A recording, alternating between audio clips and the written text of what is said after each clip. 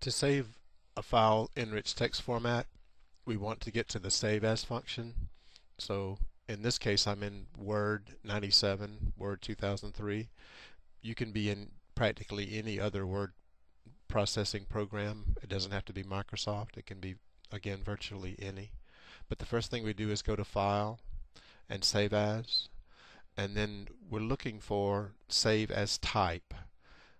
And in this case, we're in Word 97, but if we'll click, if, if we go over to the right of Save as Type and click on the little drop down arrow and come down to Rich Text Format,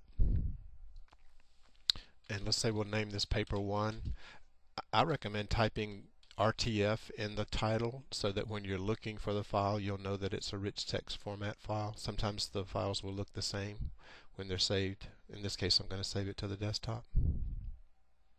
So a quick little rev review, we just go to File, Save As, and then the, the little drop down window under Save As Type, and click on Rich Text Format.